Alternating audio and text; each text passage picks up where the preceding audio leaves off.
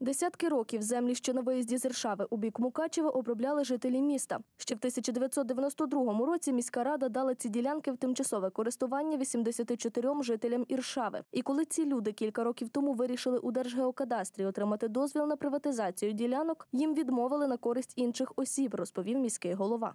На якій підставі, коли люди писали заяви в Держокадарстві, їм відмовили, а іншим по 6 сотин відмовили, а іншим по гектару по 2 дали. На якій підставі? Де критерії цього, як розглядали ці земельні питання? Чому, коли розглядалися ці земельні питання, вони не були погоджені з місцевими органами влади? Ну, хоча б запитали, ви проти чи за? Ще наприкінці літа обурені жителі вирішили зустрітися з керівництвом району, з головним архітектором та іншими чиновниками, аби отримати відповідь на запитання, чому землі, які вони обробляли десятки років, віддали іншим. Це підставні люди, які виконують роль просто, щоб не звучало прізвище істинного володаря цієї землі.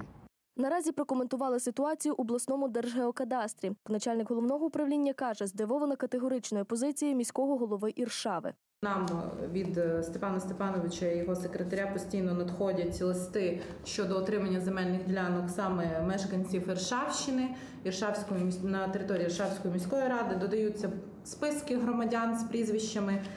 І ми всім повністю громадянам, які були запропоновані і подавали до нас е, е, заяви, ми е, накази видали.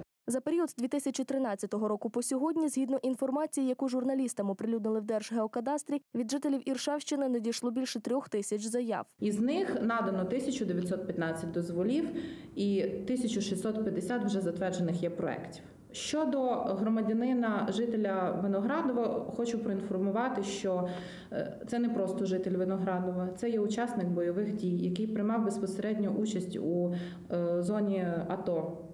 І ми не маємо жодного морального права відмовляти йому Світлана Мельничук переконує, що до випадку, який спровокував конфлікт, зі свого боку діяли згідно чинного законодавства. Згідно закону про військовослужбовців, він має е, пільги і має першочергово отримати земельну ділянку. Е, Тому, е, якщо Степан Степанович хоче забрати земельну ділянку учасника бойових дій, нехай він звертається в судовому порядку. Тож чи матиме продовження і як закінчиться це земельне протистояння, розкажемо згодом.